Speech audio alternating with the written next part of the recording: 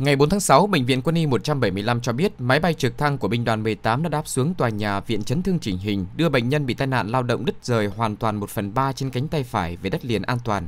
Bệnh nhân là anh PK sinh năm 1984, là ngư dân đang đánh bắt hải sản trên ngư trường quần đảo Trường Sa. Trong quá trình làm việc, anh K bị tai nạn đa chấn thương đứt rời hoàn toàn 1 phần 3 trên cánh tay phải, chấn thương ngực kín, gãy xương sườn 4 bên phải, chấn thương phần mềm hàm mặt. Sau 8 giờ xảy ra tai nạn, anh K được đưa vào cấp cứu tại bệnh xá đảo Song Tử Tây. Tại đây, anh K được các bác sĩ phẫu thuật cầm máu mỏm cụt, truyền dịch, kháng sinh, giảm đau. Tuy nhiên, bệnh nhân biểu hiện đa chấn thương nặng, nguy cơ suy hô hấp, huyết động không ổn định. Qua hội trần, bệnh nhân được chỉ định vận chuyển về đất liền điều trị bằng đường không.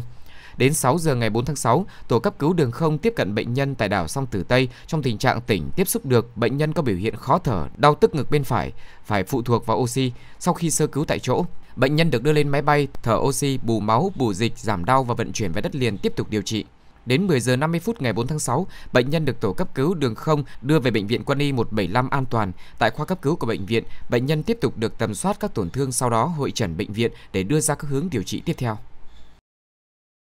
Trong quá trình vận chuyển thì ờ, điều lo lắng nhất của chúng tôi đó là khi mà lên cao thì cái chấn thương ngực ờ, phải của bệnh nhân có thể sẽ diễn tiến một cái tràn khí màng phổi áp lực à, bệnh nhân có thể suy hô hấp và thậm chí là có thể à, nguy kịch trong quá trình vận chuyển. À, rất là may mắn thì à, chúng tôi đã kiểm soát đau tốt, à, à, bù dịch điện giải và đặc biệt là chúng tôi có dự trù máu để à, bù cho bệnh nhân. À, do hôm qua bệnh nhân có biểu hiện của sốc mất máu trước khi mổ